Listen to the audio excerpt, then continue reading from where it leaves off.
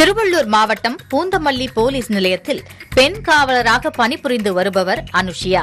தற்போது நிறைமாத கர்ப்பிணியான அவரை அழைத்துச் செல்ல கன்னியாகுமரியிலிருந்து பெற்றோர்கள் வந்திருந்தனர்.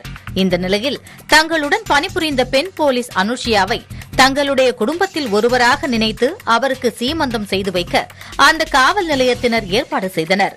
இதன் பேரில் பூந்தமல்லி போலீஸ் நிலைய வளாகத்தில் பந்தல் அமைக்கப்பட்டு சந்தனம் வளையல் பூ மாலை அணிவித்தும் சீர்வரிசை பொருட்கள் வைத்தும் சீமந்த பாடலை சக பெண் போலீசார் பாடிய நிலையில் சீமந்த விழாவை நடத்தினர்.